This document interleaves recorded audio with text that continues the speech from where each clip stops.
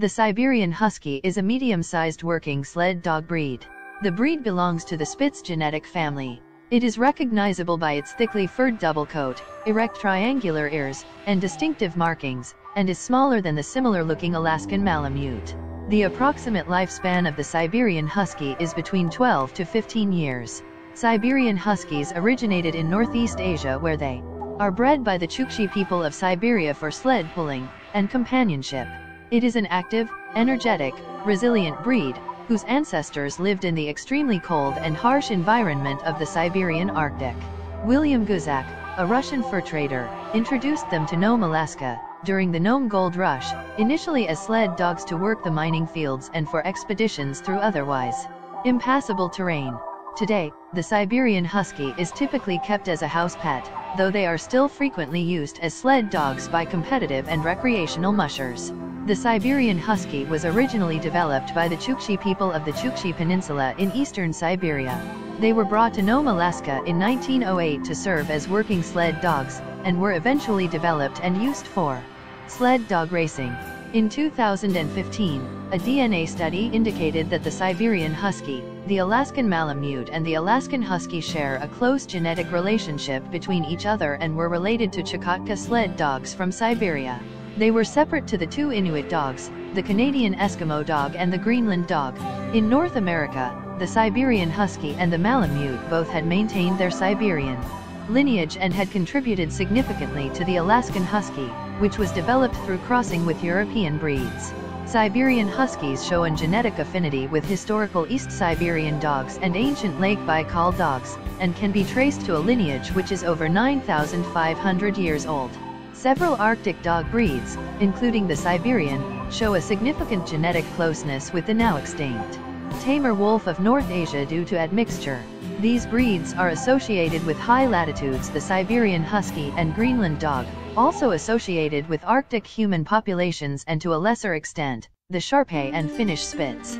There is data to indicate admixture of between 1 to 3% between the Taymyr wolf population and the ancestral dog population of these four high-latitude breeds. This introgression could have provided early dogs living in high latitudes with phenotypic variation beneficial for adaptation to a new and challenging environment. It also indicates the ancestry of present-day dog breeds descends from more than one region. A Siberian Husky has a double coat that is thicker than that of most other dog breeds. It has two layers, a dense, finely wavy undercoat and a longer, top coat of thicker, straight guard hairs. It protects the dogs effectively against harsh Arctic winters, and also reflects heat in the summer. It is able to withstand temperatures as low as 50 to 60 C 58 to 76 F. The undercoat is often absent during shedding. Their thick coats require weekly grooming. An excessively long coat, sometimes referred to as a woolly or woolly coat, is considered a fault by the breed standard as it lacks the thicker protection of the standard coat's guard hairs, obscures the dog's clear-cut outline, causes quicker overheating during serious harness work, and becomes easily matted and encrusted with snow and ice. Siberian Huskies come in a variety of colors and patterns, often with white paws and legs, facial markings, and tail tip. Example coat colors are black and white, copper red and white, gray and white, pure white, and the rare Agouti coat, though many individuals have blondish or piebald spotting. Some other individuals also have the saddleback pattern, in which black-tipped guard hairs are restricted to the saddle area while the head, haunches, and shoulders are either light red or white. Striking masks, spectacles, and other facial markings occur in wide variety. All coat colors from black to pure white are allowed. Merle coat patterns are not permitted by the American Kennel Club, AKC, and the Kennel Club, KC. This pattern is often associated with health issues and impure breeding. The American Kennel Club describes the Siberian Husky's eyes as an almond shape, moderately spaced and set slightly obliquely. The AKC breed Standard is that eyes may be brown, blue or black, one of each or parti-colored are acceptable, complete is heterochromia. These eye color combinations are considered acceptable by the American Kennel Club. The parti-color does not affect the vision of the dog. Show quality dogs are preferred to have neither pointed nor square noses. The nose is black in gray dogs, tan in black dogs, liver in copper-colored dogs, and maybe light tan in white dogs. In some instances, Siberian Huskies can exhibit what is called snow nose or winter nose. This condition is called hypopigmentation in animals. Snow nose is acceptable in the show ring. Siberian Husky tails are heavily furred. These dogs will often curl up with their tails over their faces and noses in order to provide additional warmth. As pictured, when curled up to sleep the Siberian Husky will cover its nose for warmth, often referred to as the Siberian swirl. The tail should be expressive, held low when the dog is relaxed, and curved upward in a sickle shape when excited or interested in something. The breed standard indicates that the males of the breed are ideally between 20 and 24 inches 51 and 61 centimeters tall at the withers and weighing between 45 and 60 pounds, 20 and 27 kilograms. Females are smaller, growing to between 19 to 23 inches, 48 to 58 centimeters, tall at the withers and weighing between 35 to 50 pounds 16 to 23 kilograms. The people of Nome referred to Siberian Huskies as Siberian rats due to their size of 40 to 50 pounds 18 to 23 kilograms, versus the Alaskan Malamutes size of 75 to 85 pounds 34 to 39 kilograms. The husky usually howls instead of barking, they have been described as escape artists, which can include digging under, chewing through, or even jumping over fences. Because the Siberian Husky had been raised in a family setting by the Chukchi and not left to fend for themselves, they could be trusted with children. The ASPCA classifies the breed as good with children. It also states they exhibit high energy, indoors, have special exercise needs, and may be destructive without proper care. Siberian Huskies have a high prey drive due to the Chukchi allowing them to roam free in the summer. The dogs hunted in packs and preyed on wild cats, birds, and squirrels, but with training can be trusted with other small animals. They would only return to the Chukchi villages when the snow returned and food became scarce. Their hunting instincts can still be found in the breed today, noted by their typically high prey drive.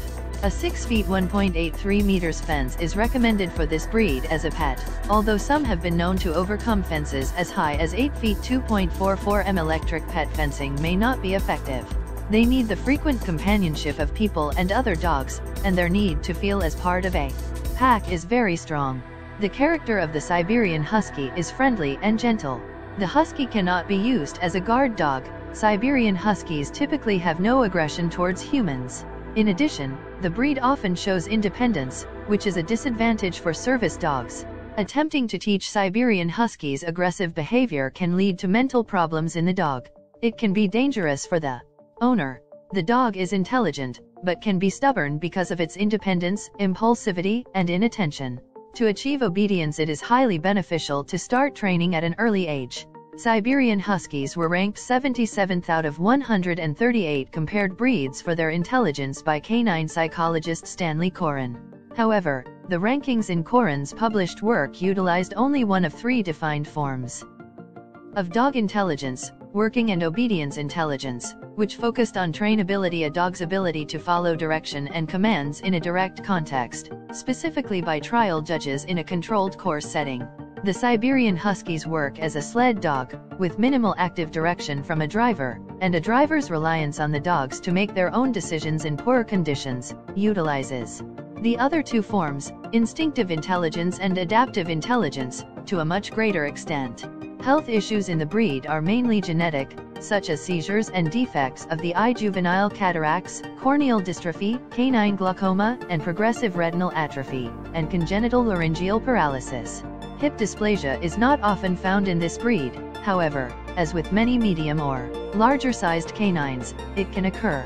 The Orthopedic Foundation for Animals currently has the Siberian Husky ranked 155th out of a possible 160 breeds at risk for hip dysplasia, with only 2% of tested Siberian Huskies showing dysplasia. Siberian Huskies used for sled racing may also be prone to other ailments, such as gastric disease, bronchitis, or bronchopulmonary ailments, ski asthma, and gastric erosions or ulcerations. Modern Siberian Huskies registered in the U.S. are almost entirely the descendants of the 1930 Siberia imports and of Leonard Seppala's dogs, particularly Togo. The limited number of registered foundational dogs has led to some discussion about their vulnerability to the founder effect. The Chukotka sled dog is considered the progenitor to the Siberian Husky. Developed by the Chukchi people of Russia, Chukotka sled dog teams have been used since prehistoric times to pull sleds in harsh conditions, such as hunting sea mammals on oceanic pack ice.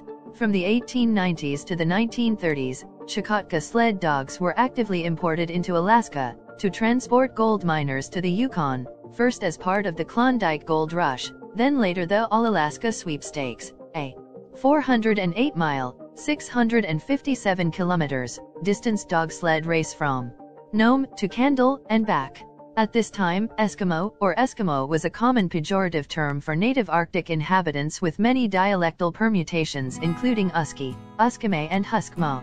Thus dogs used by Arctic people were the dogs of the Huskies, the Huskies dogs, and eventually simply the Husky dogs.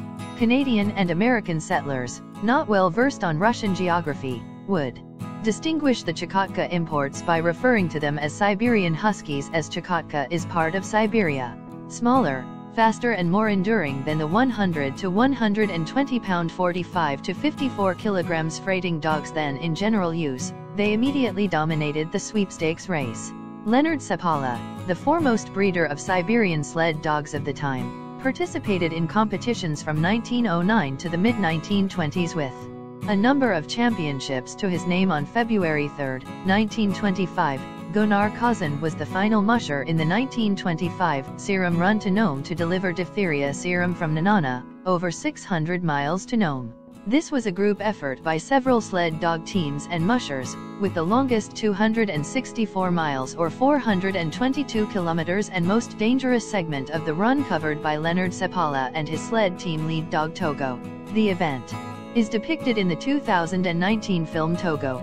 A measure of this is also depicted in the 1995 animated film Balto. The name of Gunnar Kaasen's lead dog in his sled team was Balto, although unlike the real dog, Balto the character was portrayed as a wolf dog in the film. In honor of this lead dog, a bronze statue was erected at Central Park in New York City. The plaque upon it is inscribed, dedicated to the indomitable spirit of the sled dogs that relayed antitoxin 600 miles over rough ice, across treacherous waters, through Arctic blizzards from Nenana to the relief of stricken Nome in the winter of 1925. Endurance Fidelity Intelligence in 1930, exportation of the dogs from Siberia was halted. The same year saw recognition of the Siberian Husky by the American Kennel Club. Nine years later, the breed was first registered in Canada. The United Kennel Club recognized the breed in 1938 as the Arctic Husky, changing the name to Siberian Husky in 1991. Seppala owned a kennel in Alaska before moving to New England, where he became partners with Elizabeth Ricker. The two co-owned the Poland Springs Kennel and began to race and exhibit their dogs all over the Northeast. Siberian Huskies gained mass popularity with the story of the Great Race of Mercy, the 1925 Serum Run to Nome, featuring Balto and Togo. Although Balto is considered the more famous, being the dog that delivered the serum to Nome after running the final 53-mile leg, it was Togo who made the longest run of the relay, guiding his musher Leonard Seppala on a 261-mile journey that included crossing the deadly Norton Sound to Golovin, and who ultimately became a foundation dog for the Siberian Husky breed. As the breed was beginning to come to prominence, in 1933 Navy Rear Admiral Richard E. Byrd brought about 50 Siberian Huskies with him on an expedition in which he hoped to journey around the 16,000-mile coast of Antarctica. Many of the dogs were trained at Chinook Kennels in New Hampshire. Called Operation High Jump, the historic track proved the worth of the Siberian Husky due to its compact size and great speed. Siberian Huskies also served in the United States Army's Arctic Search and Rescue Unit of the Air Transport Command during World War II. Their popularity was sustained into the 21st century. They were ranked 16th among American Kennel Club registrants in 2012, rising to 14th place in 2013. Huskies were extensively used as sled dogs by the British Antarctic Survey in Antarctica between 1945 and 1994. A bronze monument to all of BAS' dog team sits outside its Cambridge headquarters. In 1960, the U.S. Army undertook a project to construct an under-the-ice facility for defense and space research. Camp Century, part of Project Iceworm involved a 150-plus crew who also brought with them an unofficial mascot, a Siberian husky named Mukluk. Due to their high popularity combining with their high physical and mental needs, Siberians are abandoned or surrendered to shelters at high rates by new owners who do not research them fully and find themselves unable to care for them. Many decide on the breed for their looks and mythos in pop culture, and purchase pups from backyard. Breeders or puppy mills who do not have breeder return contracts that responsible breeders will, designed to keep the breed out of shelters. Sled dogs that were bred and kept by the Chukchi tribes of Siberia were thought to have gone extinct, but Benedict Allen, writing for Geographical magazine in 2006 after visiting the region, reported their survival. His description of the breeding practiced by the Chukchi mentions selection for obedience, endurance, amiable disposition, and sizing that enabled families to support them without undue difficulty.